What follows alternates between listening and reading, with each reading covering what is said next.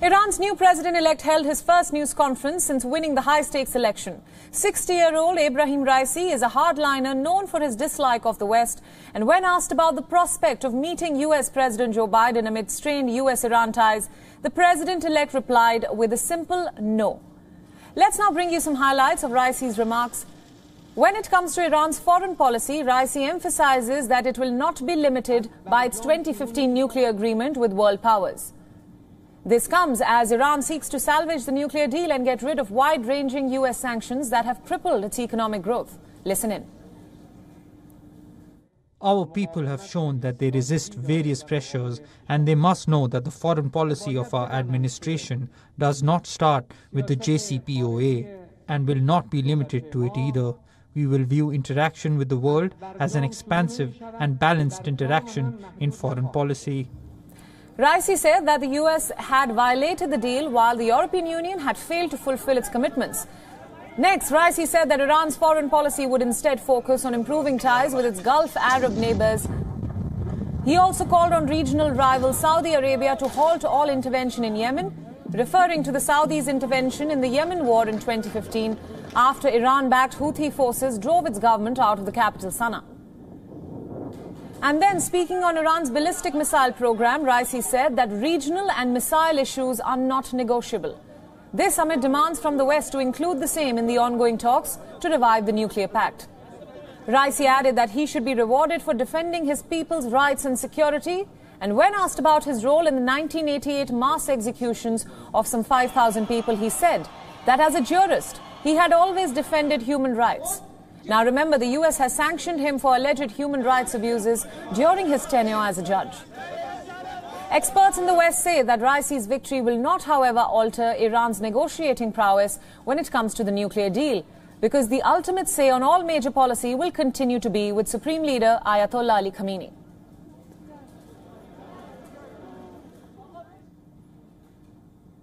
Let's now tell you a little bit more about the man that Iranians have elected as their new president in the most polarized election. Since the formation of the Islamic Republic of Iran in 1979, Ebrahim Raisi's election comes at a critical time for Tehran. Raisi will serve as number two in Iran as a trusted lieutenant of the Ayatollah. Ebrahim Raisi was born in northeastern Iran's Mashhad. Growing up in a clerical family, Raisi studied under several prominent scholars, including Khamenei himself. Following the 1979 revolution, he joined the prosecutor's office. Raisi is associated with one of the darkest chapters in Iranian history, the mass execution of 1988 after the Iraq-Iran war. He was a part of a so-called death commission that looked over the execution of thousands of political prisoners. Raisi's rise in Iran's judicial system was coupled with Ayatollah Khamenei's accession to power as the supreme leader of Iran. He was appointed as Iran's Attorney General in the year 2014.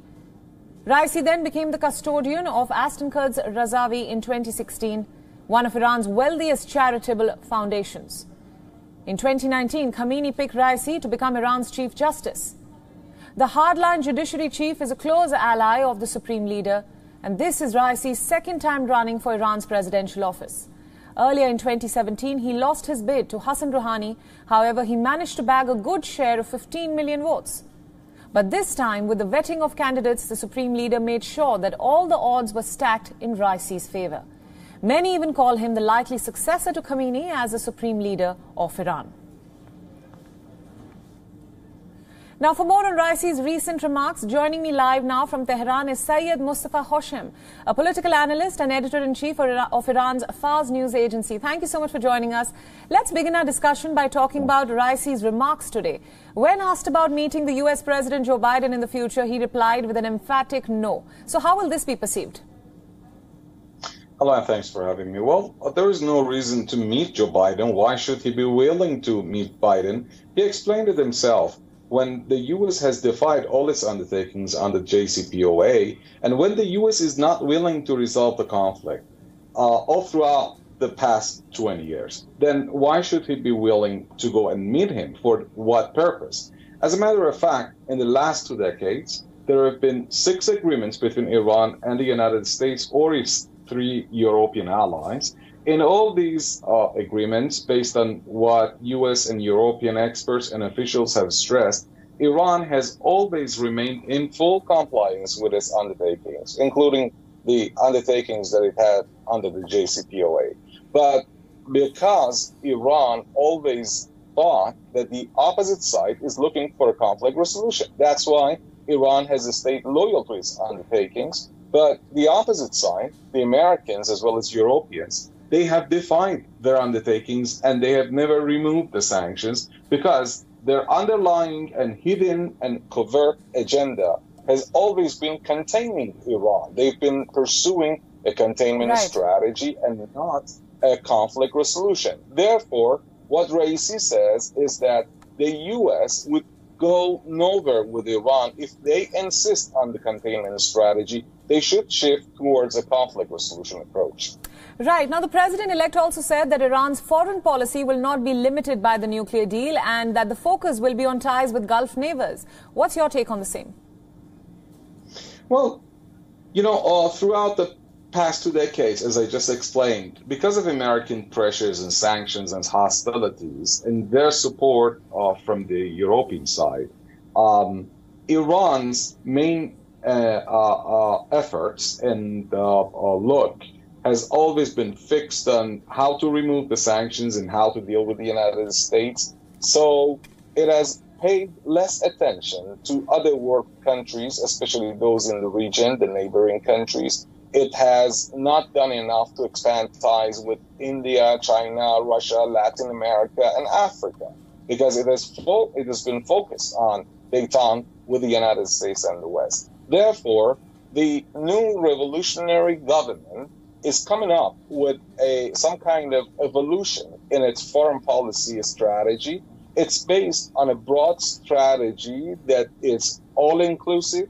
Second, there will be some kind of balance in ties with the world countries, and Iran's look will not be just fixated on America and the West. Uh, and third, Iran will be more active to develop ties with the regional states. And fourth, the ultimate and uh, uh, goal and the priority is economy. Right. Iran's uh, uh, foreign policy strategy from now on will be economy oriented and directed by increasing foreign trade. Right. Now, Raisi also defended his time as a judge, saying that he has always defended human rights. This while there are U.S. sanctions against him for human rights violations. So, is there any truth to his statement? Uh, yes, of course, because take a look at uh, what has been happening in the past 20 years in this region by the United States and its allies. They are notorious for their uh, manslaughter in Afghanistan and Iraq, in Abu Ghraib.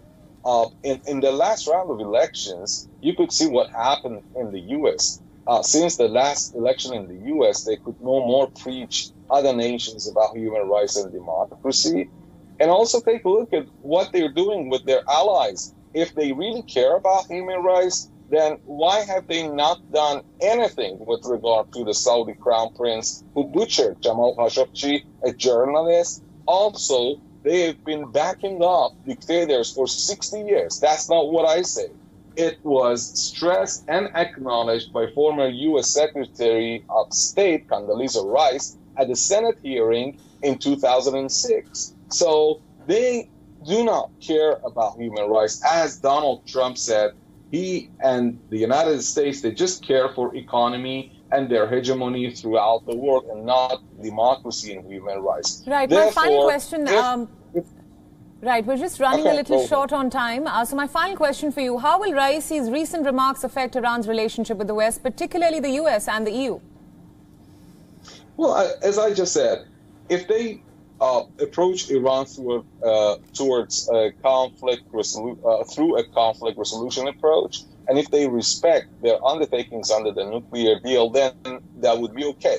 But let's not forget that Europe is not just the troika, the three European states, Germany, France, and the UK. There are other European states that are in good terms with Iran, that are willing to work with Iran and expand ties with Iran, like Spain, like Italy, and I do believe that there will be some kind of balancing in Iran's relations with the other world states. I mean, uh, uh, rather than focusing on the United States, Canada, and these uh, three European troika, I believe from now on we would see more efforts and industrious efforts in order to expand uh, foreign trade and uh, foreign policy with other states that stay outside the domain of these four countries. It doesn't mean that Iran would ignore the U.S. or the, the Troika. No, there is a package, a complicated and detailed package for how to deal with the United States if they stay adamant to